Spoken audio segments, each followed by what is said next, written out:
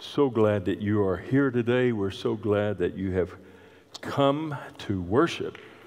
I think after a day like yesterday, uh, we need to come and to a place where we can find the Lord's presence, and we have already this morning. I want to address some of the events of yesterday because to not do so, I think, would be remiss in my duties and some thoughts that have occurred to me. I think we saw the events yesterday and we saw the black hand of evil. We saw the enemy rise up. But yesterday we also saw the hand of God. And we saw God intervene and we saw God raised up because God is in control, not man.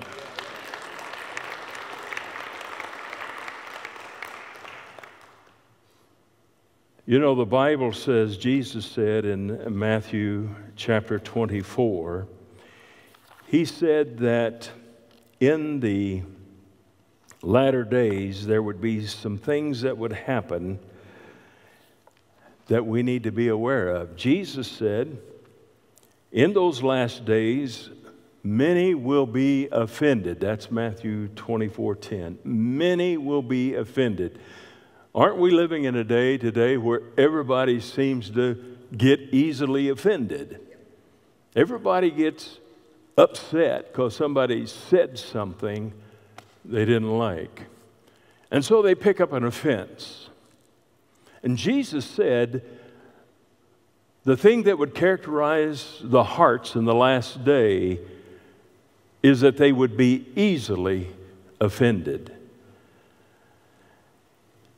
It goes on to say in verse 10 Jesus said, and here's the result of offended hearts. Now, he, he lists three things. This is not my sermon, but I just have to unload on this. He said there are three things that would happen when hearts are living with offense. He said, number one, he said, and they shall betray one another and they shall hate one another. And then in verse 12, Jesus said that in the last days, as a result of all of this offense, and because iniquity shall abound, does that describe us? Iniquity shall abound, and the love of many shall what? Wax cold. Folks, I think today, as I think back over yesterday, yes, the enemy is at work. Yes, we are living in those days Jesus warned us about. And he said this would happen. But I don't think we should be complicit as a church, as a people of God, just to say, well, that's the way it's supposed to be, so that's the way it's going to be. I believe God warned us that this is something that would happen so that when we see it, that we wouldn't fall into complicity and say, oh, well, it's just going to happen, so might as well accept it. No, I think he was warning us and saying, yes, it's going to happen, but that doesn't mean you have to just give in to it. You need to pray against it. You need to come against it in the name of Jesus. You need to say the enemy will not win. This is wickedness, and we as a church of Jesus Christ, we will stand against it in his mighty name. This is what God is calling us to do. Betrayal, yes, we see it. Hate, my goodness, the vitriol that pours forth from the media, the vitriol that pours forth from supposedly grown, mature people the attacks, it's got to stop. And he said that the, because iniquity would abound, and that's part of this offensive thing, that iniquity is abounding. You can't say anything against iniquity anymore without people getting offended. Well, I'm here to tell you that in Jesus' name, sin is still sin. God loves sinners, but folks, He has said there are things that should not be, that should not characterize, especially the household of God.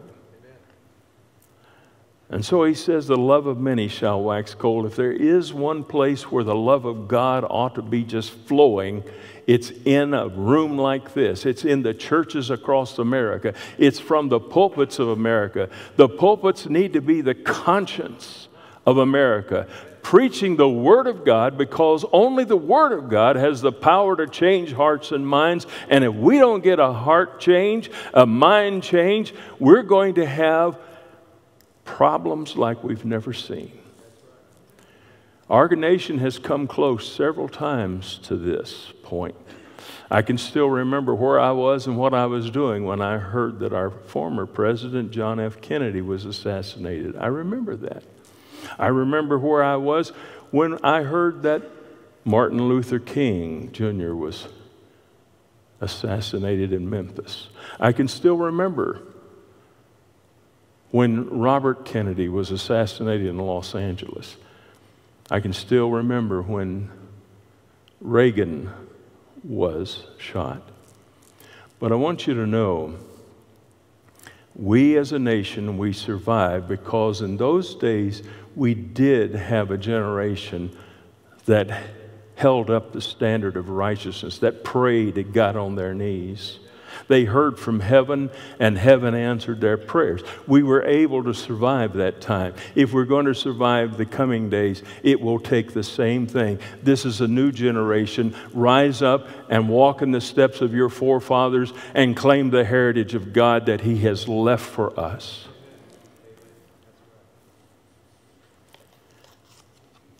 One of the ladies of our church,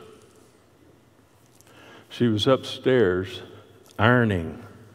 When God spoke to her as clearly, she says, as she's ever heard God speak, before the shots rang out, she was told, pray for President Trump.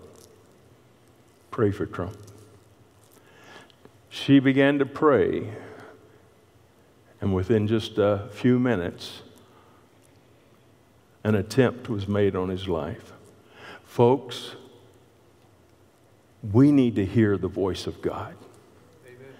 God, I believe, spoke to a lot of people across this country, not just here at First Baptist in London, but across the country. He spoke to open hearts, open minds, willing spirits.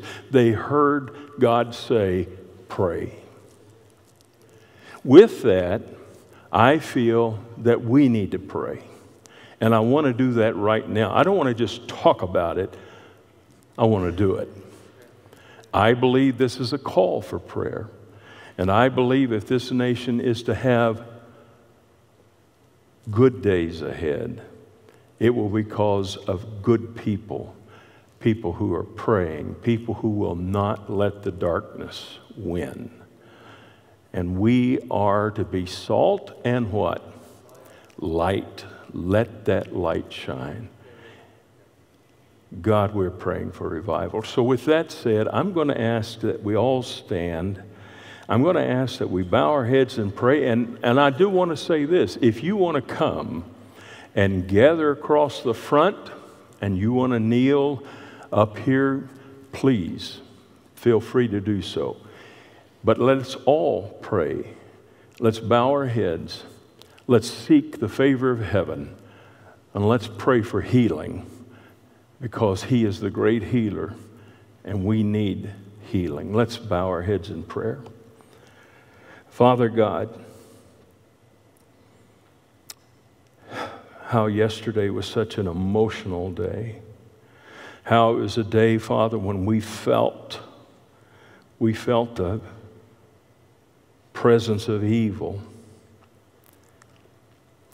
as shots rang out as one dear man was killed, as two others wounded, as our president was wounded. Lord, we, we saw all of this. We watched it unfold. But yet, as they were trying to describe it, they said it was a miraculous moment when he turned his head just at the right time. Lord, we don't believe in serendipitous moments. We don't believe in luck. We believe that you, and by your mighty hand, you raise up leaders and you take down leaders. I do not know the future that you have for this man. I do not know whether he will occupy the White House again or not. Lord, that's your business.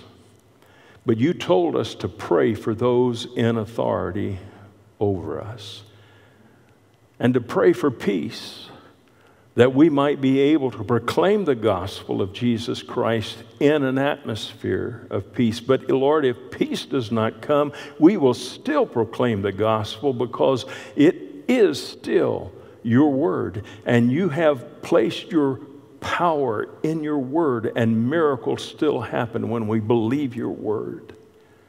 Father, our nation needs to turn back to you. And we know that there has been so much darkness that has been let in and has taken over. But Lord, I still believe. I still believe that the remnant who love you with all of their hearts, the remnant who believe you, the remnant who call upon you, Lord, I still believe that a people who do call upon you, that Father God, you will hear and answer from heaven. You will heal their land and you will turn the hearts back to you. So, Father, we, as your children living at this time in this world, Father, we say, first of all, examine our own hearts to make sure there is no bitterness, that there is no thing that would defile in our lives, so that we can pray, be clean vessels through whom the Holy Spirit can work. Oh, Father, today we pray for renewal. We pray for revival. We pray for redemption of hearts and souls. We pray for our leaders. We pray protection, but most of all, we pray that they will be hearing the truth and responding to that truth. Father, today we love you, and you are the world's only hope. And even though we may be living in the last days, Father, our job is not finished. May we be found faithful to the last moment, the last day, the last second, that we will continue to let the light of love shine as the antidote to the darkness and the hatred that is trying to engulf our world.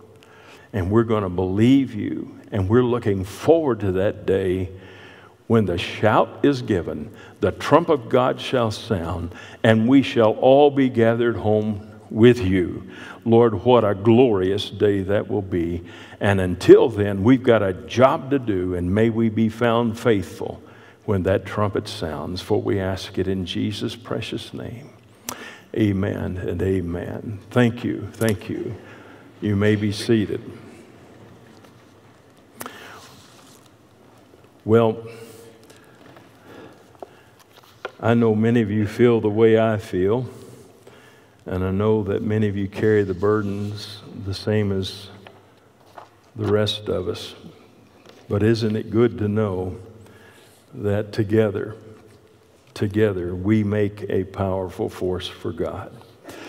I want you to open your Bibles, if you would please, to where we left off last Sunday. I gave you all a homework assignment for last Sunday, and we are going through studying chapter by chapter, in some ways, verse by verse, through the book of Paul's writing to the church at Corinth. This was a church he had established. He had been with them for about 18 months. He had taught them many things. And you'll remember that they were a troubled church, they had problems. And Paul was trying to correct some of the problems, and he was also trying to answer some very important questions. Questions that are not unrelatable to us today.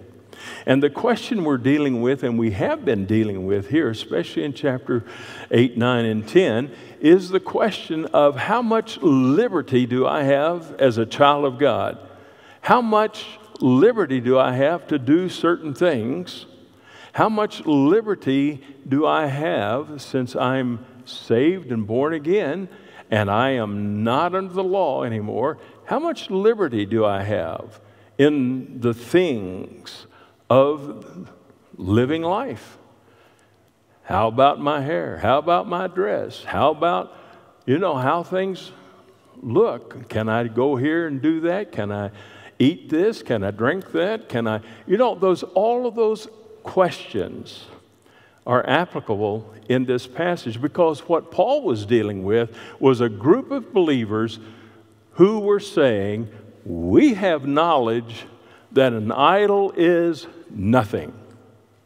So therefore, we can go down to the pagan temple, eat at the Zeus restaurant, and have a little Aphrodite sauce on the side, and it doesn't mean a thing because Zeus doesn't exist, Aphrodite doesn't exist, and I can sit here and eat, and it doesn't bother me, my conscience at all. Paul says, wait a minute, you're missing something. You might have knowledge and you might have this sense of freedom, but you're not as smart as you think you are because you're not applying an overarching principle. And that overarching principle is this Am I operating out of love? What about my brother who has come out of this pagan background and he sees me down there participating in the pagan restaurant, eating food that's been offered to an idol? Will it create a problem for him? What about my testimony? Will it create a problem there? So Paul is saying, look, love has to take precedent over your freedom. Oh, I can do that. It doesn't bother me. Yes, but it does bother others. Where do we balance this out at? Now, Paul gives two examples of why we need to be careful in our associations. He uses the association with Christians at the communion table, and then he uses the association of the Israelites at the altars of God. And he says, Notice what's happening. And so you remember that the pagans of that day were very polytheistic, they had many gods. They were also what you might call polydemonistic, polydemonistic. They believed demons were everywhere. They believed that demons were always trying to enter into our bodies. And they said that they believed, this is not true, but they believed that demons jumped on food. And when you ate the food, you were ingesting demonic. So, what the pagans believe if I take my steaks and my ham or whatever I'm eating, and I offer it to the gods first, the gods will be so happy about that, they'll blow the demons off of it like flies off of meat. So then it's clean to eat. That's how their mind went. And so Christians were saying, well, look, I can go down here, I can get on the stool, snuggle up to this guy, and I can witness to him while I'm eating the same meat he is. Paul says, yeah, you might have the freedom to do that, but is that the best choice? Is that the best thing to do? So these are some of the things that Paul is dealing with here. And then he uses this example.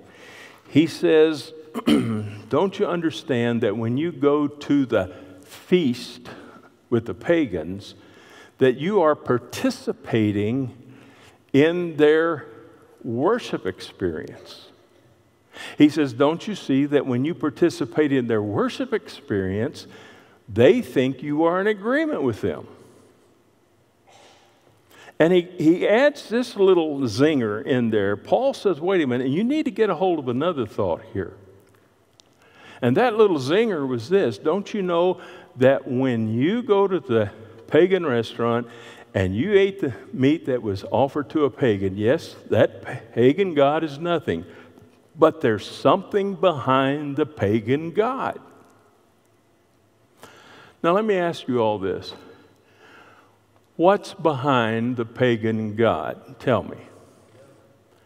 demons. That's what exactly what Paul says. And I want you to look at verse, uh, if you look at verse 20.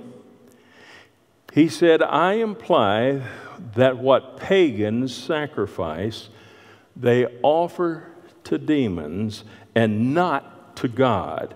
I do not want you to be participating with demons. So, what he's saying here is that the demonic attaches itself to certain things, like these gods that are worshiped. And as a result, I don't want you participating with demons. You may be doing it thinking you're free, but you're in your ignorance, you don't know what you're doing. And you're damaging your testimony and you're damaging your weaker brother. You're damaging those people who've just got saved. They came out of paganism and they see you down there at the place they left. Do you care about them? Do you love them? So that's what Paul is dealing with here.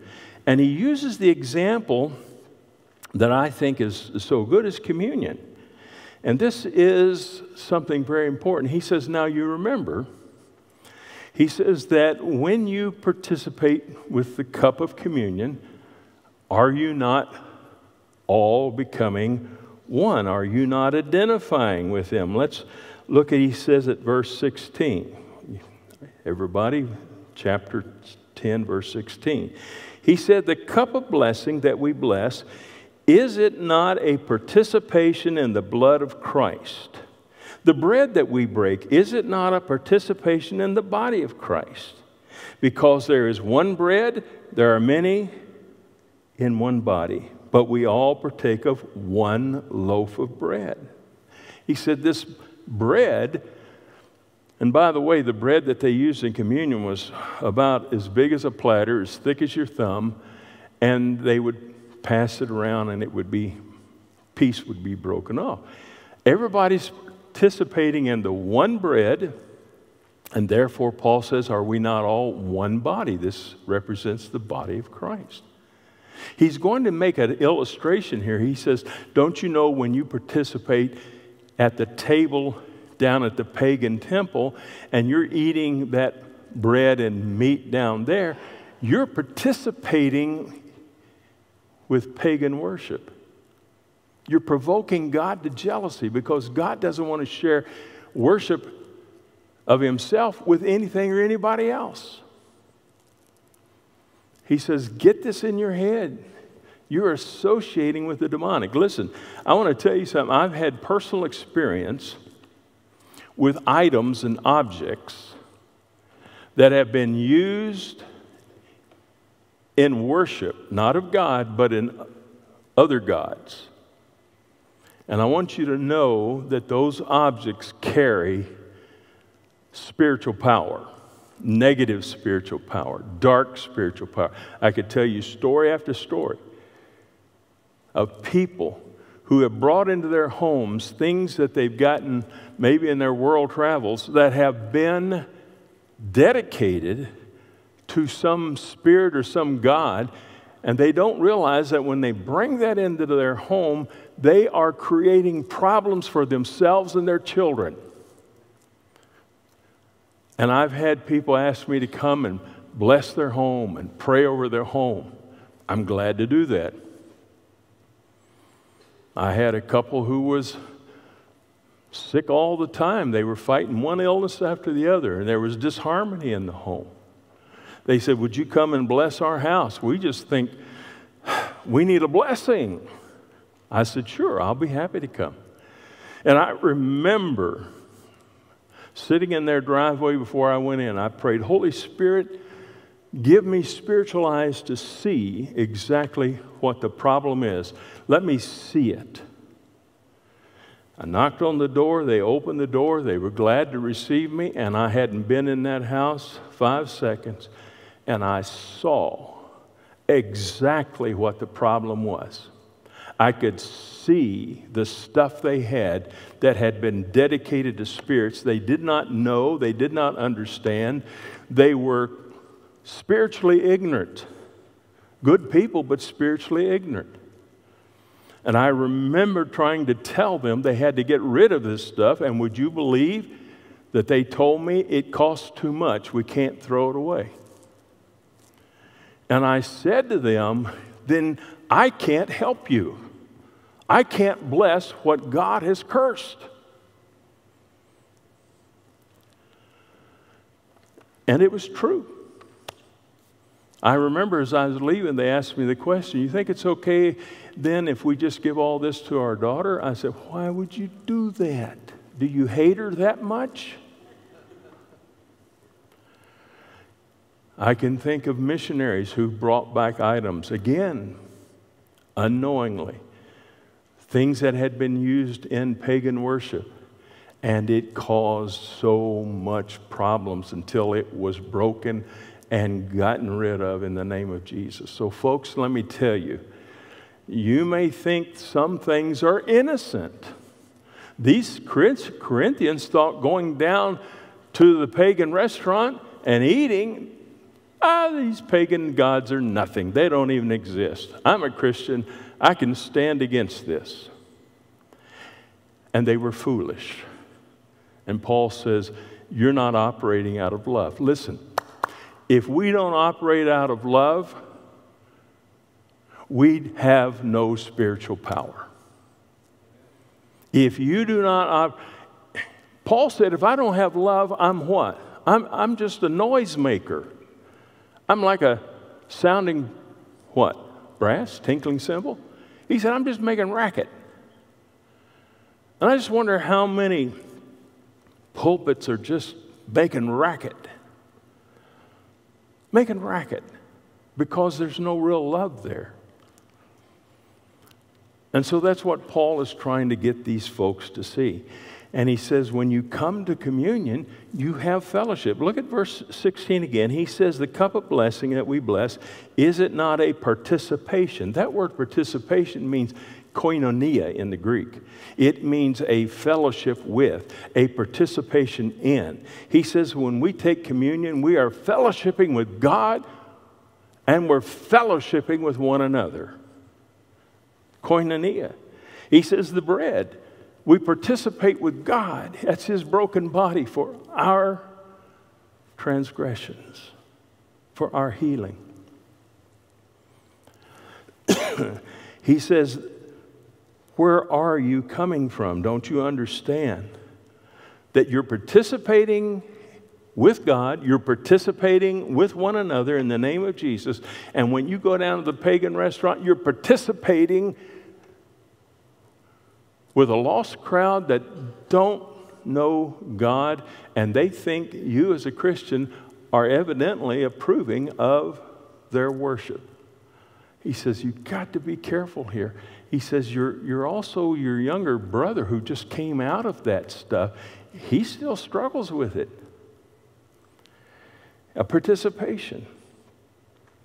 And he also gave the example of Israel that when they brought their offerings to God, when they brought their offerings to God, it was divided up into three sections one section for the priest, one section for themselves to take home, and one section was offered up to God.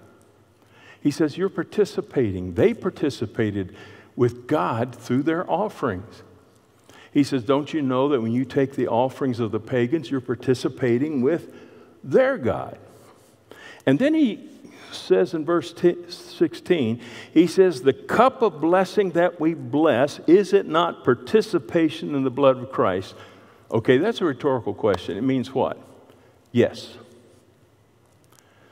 Now, I want to, this is a little technical, and I just want to take a little bit of time to deal with this.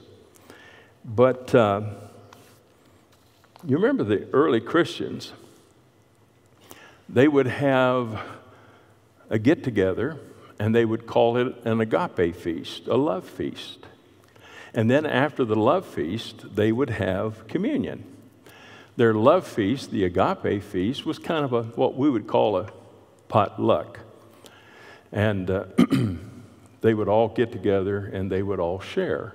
And then they would take communion. Now, our communion is based off what Christ taught us. And he taught it to his disciples in the upper room before he was crucified. And he was taking the Passover meal, the Seder, and he was going to transform that Seder into something more than just the Jewish notion of the Passover. Since Paul is a rabbi and he's talking to mostly Jewish converts, they understand what he's saying when he says the cup of blessing. Now, what you may not know, and I'm just going to do this real quick, is that in the Passover Seder there were four, four cups. The four cups were this the first cup was the cup of sanctification. To be sanctified by God means to be set apart for His special dealings and blessings. Sanctification is, comes from the root word that we translate holy, H O L Y. And so the first cup, as the children of Israel were getting ready to leave, God said, Sanctify yourself. So that meant go through cleansing, go through a point here where you give yourself totally to God. Jesus took and drank from that cup. And then you come to cup number two, which is the cup of plagues. The cup of plagues. That's the uh, second cup. And the cup of plagues is remembering the plagues that God sent on Egypt to bring them out. But the second cup also represents something else. Not only the cup of plagues, but it also represents the cup of healing. Why do I say that? Because in Psalm 105 37 it says, And he brought them forth with silver and gold, and there was not one sick person among all their tribes.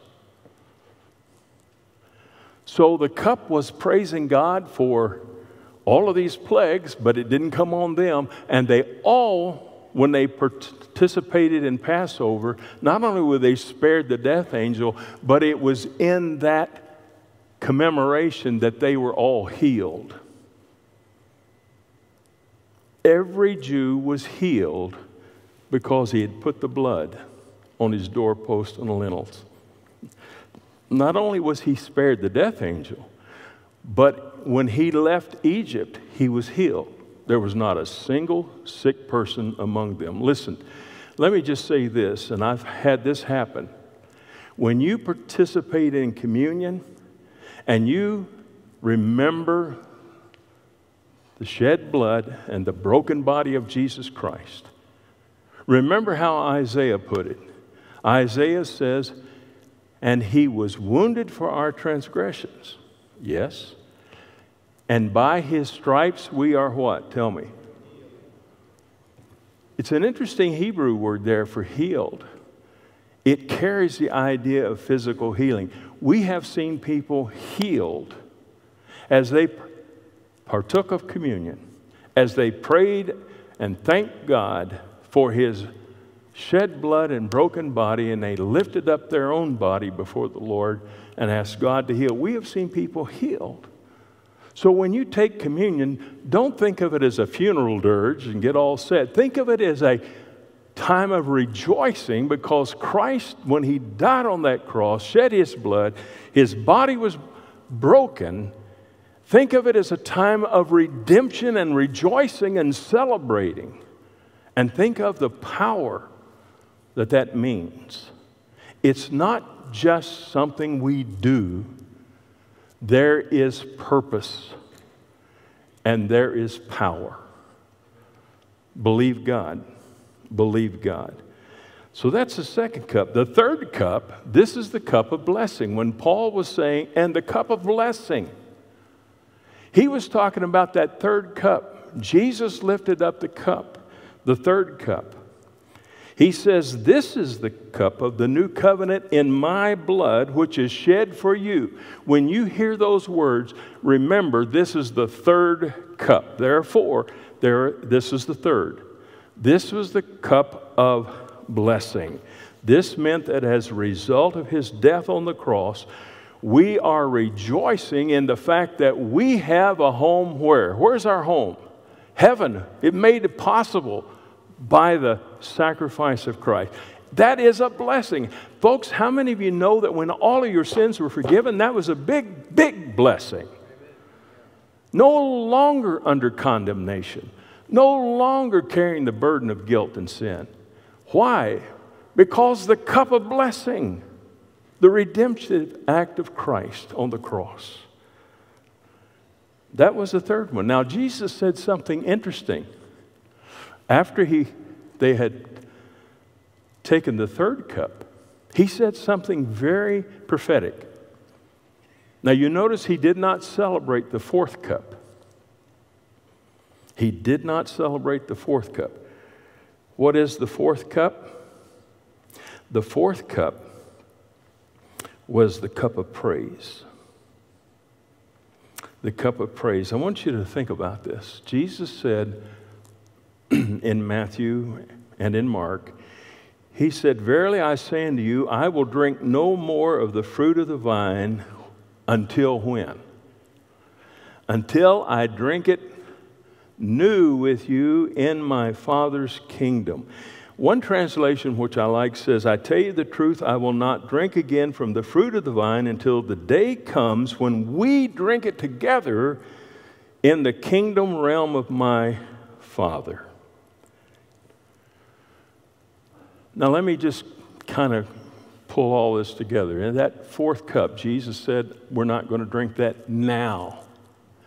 We're going to drink the fourth cup later.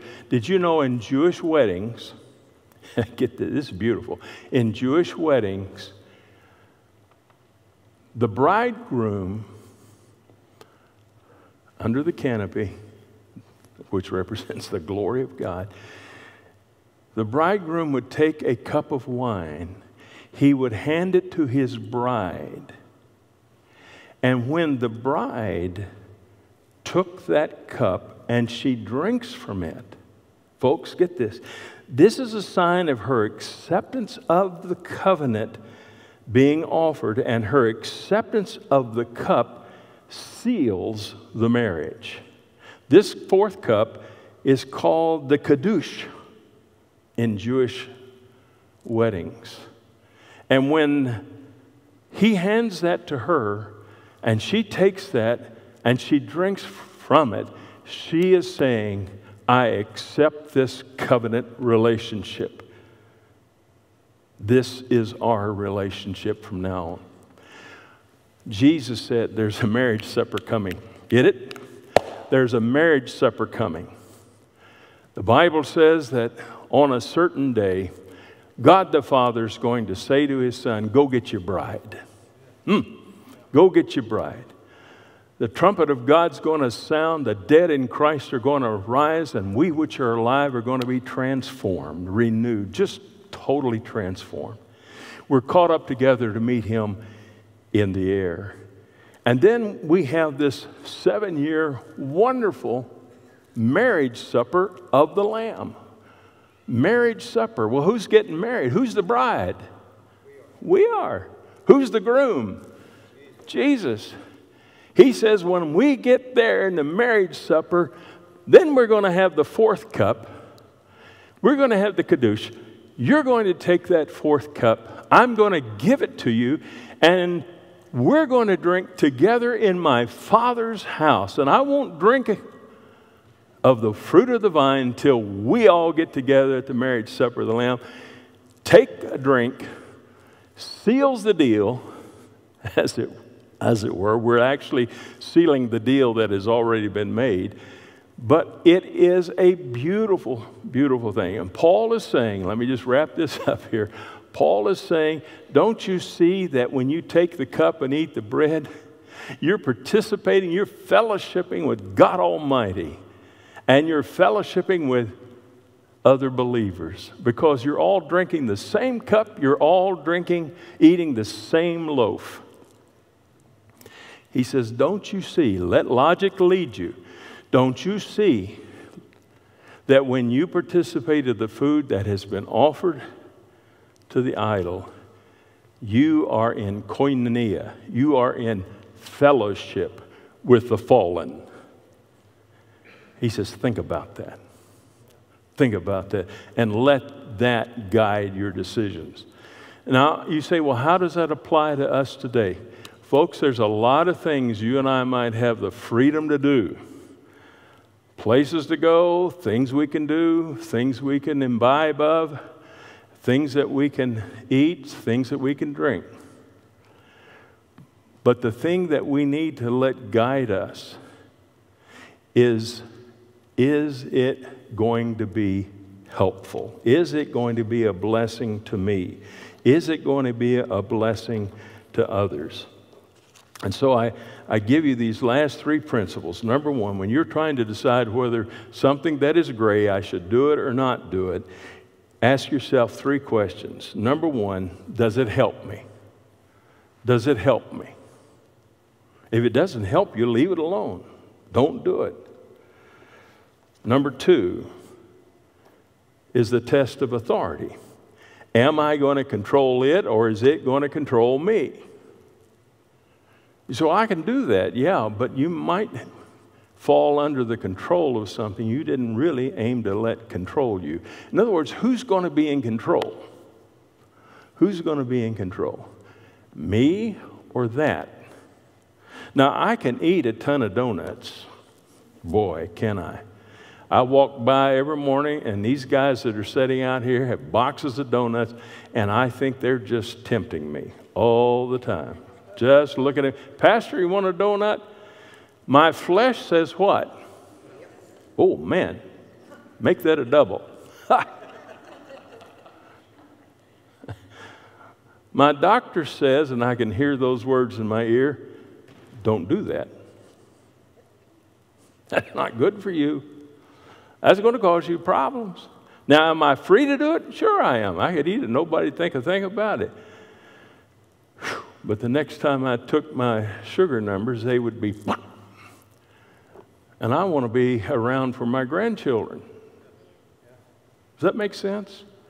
So I'm free, but is it the best thing? Do I control it or does it control me? If it's starting to control you, and if you're taking something to self medicate your pain, then that thing is in control of you. You're not in control of it. And anything that is controlling you, other than the Holy Spirit, is going to be a major spiritual problem for you, if not physical. It's going to damage your testimony. And then, number three, I close with this one is the test of charity, the test of love. All things are lawful for me, they were saying. Paul was quoting them. Yes, that's true. But are you being motivated by your liberty, which really turns into license? Or am I going to be motivated by love? Because here's brother so and so. He just he has a problem with this and he's come out of that and he's a new believer and he's trying to get ahead. But am I going to be dragging him back into bondage? Am I, do I love him enough to say, hey, cool, we just don't go there. We just don't do that. Why? Because I want him to grow, and I don't want to be a stumbling block to him.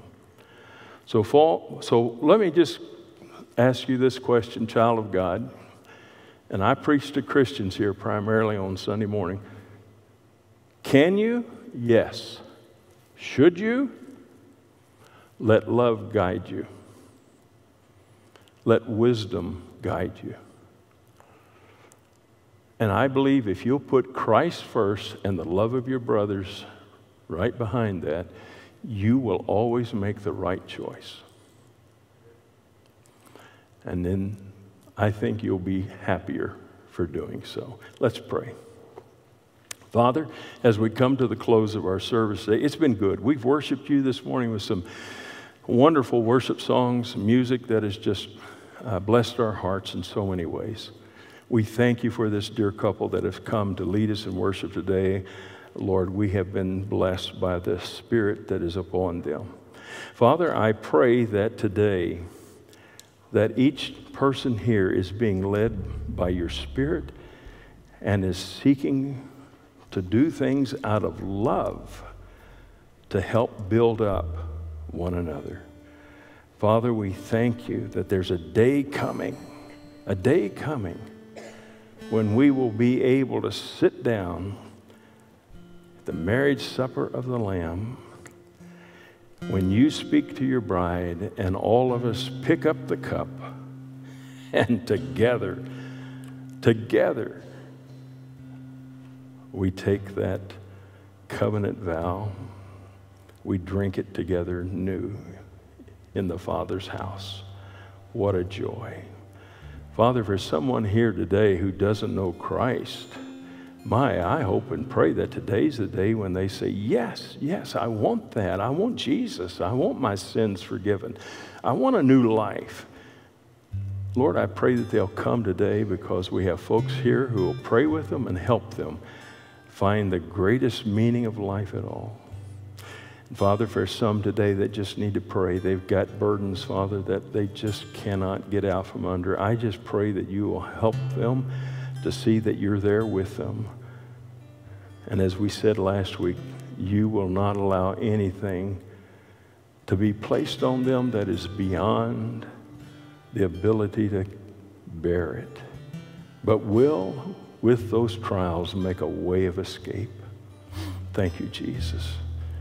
May folks today do business with you and make eternal decisions, for we ask it in Jesus' mighty name.